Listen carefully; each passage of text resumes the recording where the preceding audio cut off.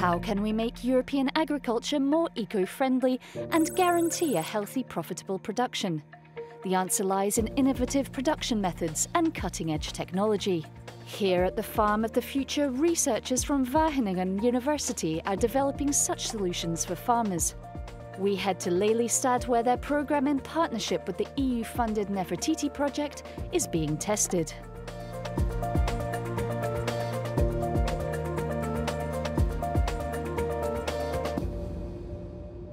We need new technology for the new agriculture.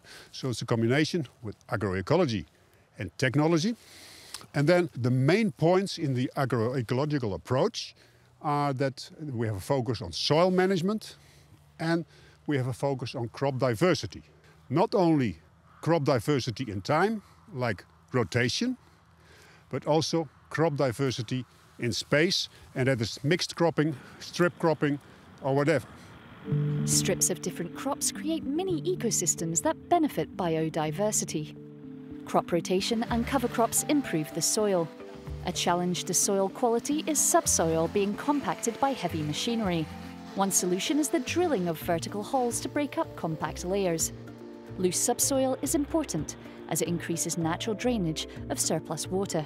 Robots are key to modern agriculture. They fit nicely into the methods of sustainable production and provide useful data.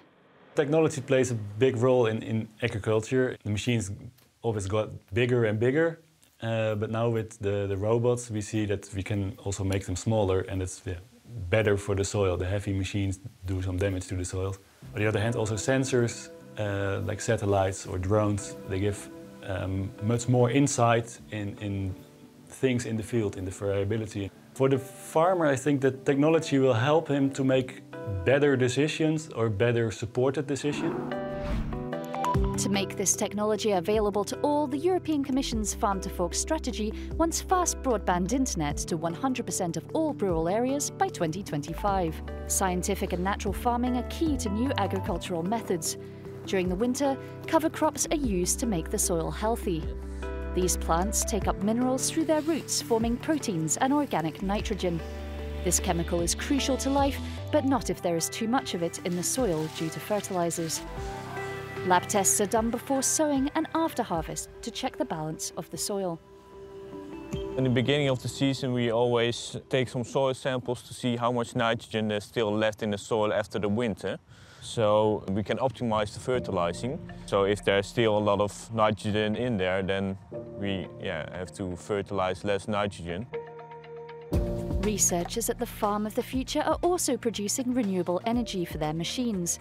Farmhouses and barns are already kitted out with solar panels that produce electricity, and an upcoming project is looking to harness the potential of wind turbines to power a hydrogen fuel production plant.